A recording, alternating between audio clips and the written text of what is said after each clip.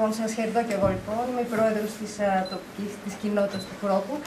Εγώ θα ξεκινήσω πρώτα με ένα μεγάλο μπράβο και συγχαρητήρια σε όλους όσους συνέβαλαν και πάνω απ' όλα στα μέλη του Συμβουλίου των Κροκοπαραγωγών. Ε, γιατί πραγματικά είναι ε, από τη θέση αυτή στην οποία είμαι τώρα δύο χρόνια, ε, αντιλαμβάνομαι ότι χρειάζονται πάρα πολλές ε, θυσίες για να φτάσεις στην εκπόνηση και στην υλοποίηση τέτοιων έργων.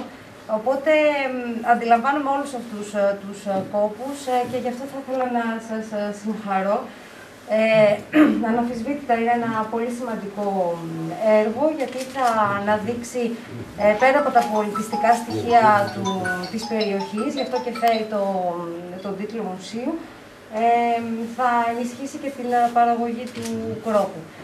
Ε, κοντά σε αυτό, εμείς ως κοινότητα ε, θα θέλαμε να ε, προχωρήσουμε και στην ανάπλαση όλης της ε, περιοχής του Πάρκου της Αγίας Παρασκευής.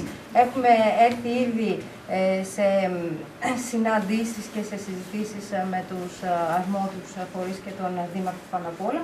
Ε, οπότε ευελπιστούμε σε συνδυασμό ε, να, η ανάδειξη να είναι ακόμη καλύτερη και η επισκεψιμότητα αυτής της περιοχής ακόμη περισσότερη. Ε, σας ευχαριστώ και εγώ όλους και χαίρομαι πάρα πολύ.